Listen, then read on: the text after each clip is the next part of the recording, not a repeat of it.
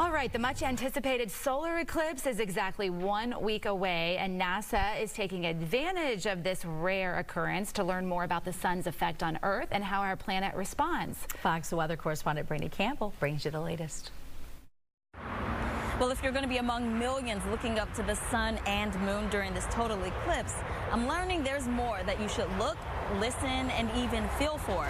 On top of that, NASA, they're taking advantage of this rare occurrence to do some experiments to study how the sun affects the earth and how our earth responds to it. So, how our atmosphere and especially the layer that where carries our communication um, collapses or changes due to the eclipse. Two experiments will happen in the sky on WB 57 aircrafts. Chasing the sun 50,000 feet above Earth, one will capture images to discover more details of the sun's corona, a dust ring around it, and search for asteroids orbiting nearby. As for the second aircraft, we're looking at solar explosions as they come off the sun and figuring out what they're made of. Another uses radar sites around the world. SuperDARN looks at the layer of the atmosphere that where communication can be affected and it looks at the turning on and turning off of the sun that happens in the eclipse and its effect on that layer of the atmosphere. Meanwhile, they will launch three rockets before, during, and after the eclipse,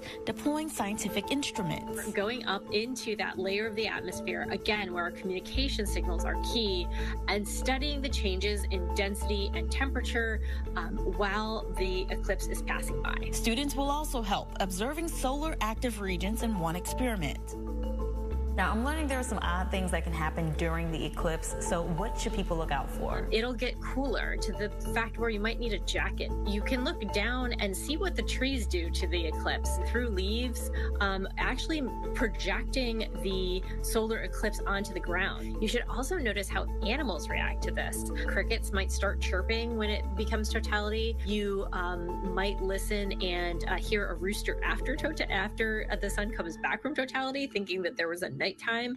NASA wants the public to help, submitting information to their Soundscape Citizen Science Project. So we're looking for the sounds that animals make.